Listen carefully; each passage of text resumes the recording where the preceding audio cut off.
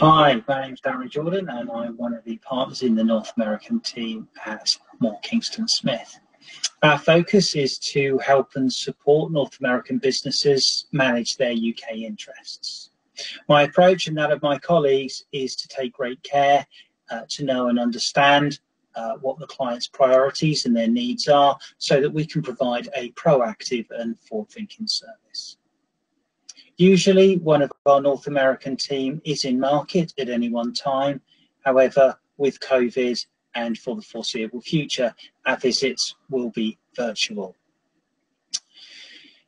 Now, whilst the UK recorded a drop in GDP of 20% in April and May 2020, the highest on record, early indications as of July are that business activity is returning quicker than many expected and business confidence is improving and expectations of business is increasing, although the position is fragile. During lockdown, the North American team have been busy. Uh, we have been doing the usual annual audits, accounting and tax compliance work, but in addition to that, we have had a number of ad hoc projects, most of which I have been involved with. Uh, a couple of the projects have been selling UK businesses to North American buyers. Uh, we have been restructuring uh, a group's worldwide R&D activities um, from a US business into a new UK company, which is allowing the group to enjoy significantly larger tax credits that are available here in the UK. We've also been doing um, some transfer pricing studies and advice on international trade. Uh, we have been restructuring um, the tax affairs of uh, various people who are moving uh, from the US to the UK. And then lastly, we do have uh, some North American businesses looking to set up their first international office um, outside of the US, um, which is often in the UK. Again, taking time to listen to clients' concerns, uh, what their priorities are and what their needs are, so that again, uh, we and I can provide a proactive and forward looking service, uh, usually makes this as pain and stress free as is possible. Anyway, that gives you a quick flavour for what the North American team have been doing during lockdown. And uh, I'm now going to hand over to my colleague, Mike Hayes, a senior tax partner, um, who will then be followed by Richard Cummings, the head of our HR consultancy. Uh, we look forward to seeing you soon. Many thanks.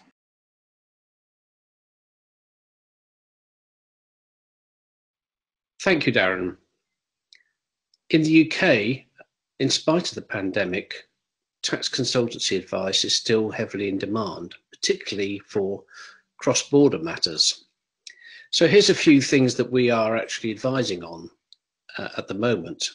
On the domestic front, we are addressing uh, a number of the government schemes to support employment during the pandemic, in particular the, the coronavirus job retention scheme.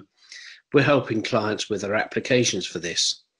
Also, the government have announced a number of ways in which businesses and individuals can defer their tax. Some of these are automatic, uh, which require little work on behalf of the taxpayer, but some of these require negotiating a payment plan with HMRC, and we help clients with those. Another consequence of the pandemic is that we are looking at situations where individuals may have become trapped in a particular country because they're unable to travel as a result of the pandemic. So the issues that we have been considering is does this affect their personal tax residence? If they're still working for their company, um, does working in a different country open them, the business up to the risk of having a taxable presence there? If they're directors of the company and they're running the business from a different country, does this affect the tax residence of the company? And finally, if a company or a group of companies has changed the way it operates during the pandemic, does that actually affect their transfer pricing arrangements and policies? So those are the sorts of things that we're considering. And then finally, um, during the pandemic, as everyone would appreciate, cash is king. So government incentives, which have been in place long before the pandemic, which give tax credits for particular types of business, are something that we are making sure clients are fully aware of and taking advantage. So Research and development is the major one, where there are generous tax credits for companies involved in R&D work in the UK.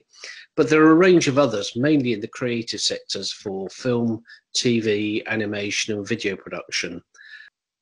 We've been helping clients take advantage of those, particularly at this time when cash is really important. Now I'd like to hand over to Richard Cumming, who heads up our HR consultancy service.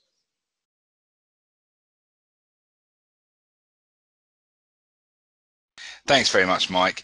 Um, I was going to talk about the new normal, and I'm assuming that the new normal in the UK is going to be very similar to the new normal in the States. The fact is that people are either working from home or they're working in the office. If they're working from home, uh, the how you define what work looks like, and you can no longer micromanage because it's quite difficult. So how do you put in management processes? That's something that uh, all of our clients are considering at the moment, and we're working with them very closely.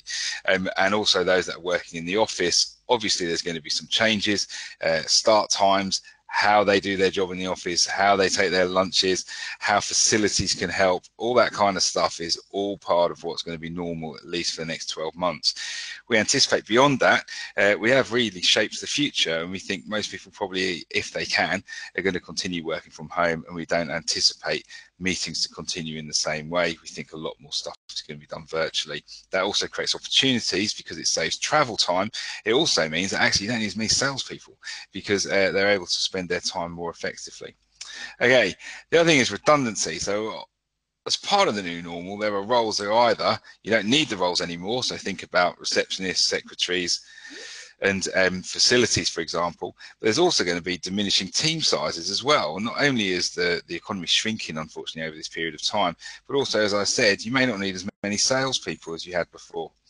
In the UK, you can't fire at will unless people have got less than two years service, and even then it comes with some restrictions. If anyone's got over two years service, you must go through a redundancy criteria. A redundancy is a consultation, so it is a period of time where you can talk to your employees, say that either the team numbers are reducing or the role is, is no longer required and you have a period of time where you consult. If you have less than 20 employees, that period of time can be as little as two weeks. If you have over 100 employees, it could be 45 days.